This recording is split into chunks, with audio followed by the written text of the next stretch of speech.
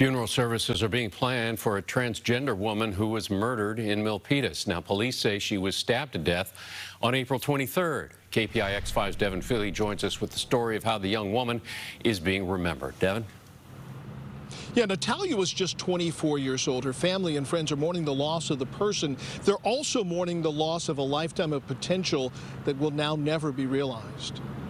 Family and friends say Natalia commanded a room like she commanded a stage. All eyes and attention drawn to her like a magnet. Natalia was beautiful. She had one of the biggest hearts that you can just ask for, and she would just light up a room as soon as she walked in.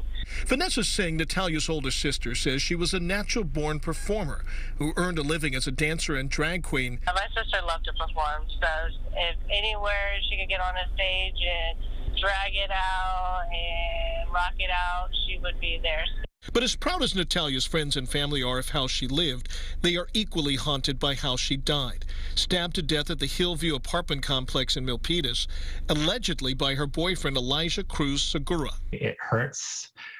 I'm outraged. I'm disappointed.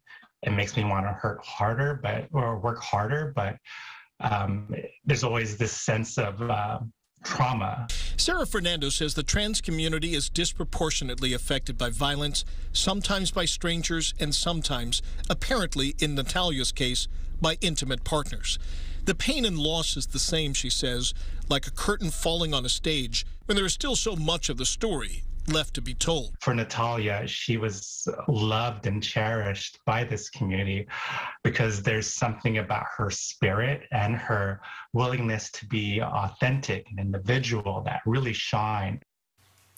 So, Devin, do we know the status of the victim's boyfriend, the alleged killer? Yeah, according to Milpitas police, he actually called 911 and reported this crime and his involvement in it, asking for help. He was arrested and arraigned last week and remains in custody. He does. All right. Devin Fehely and Milpitas, thanks so much.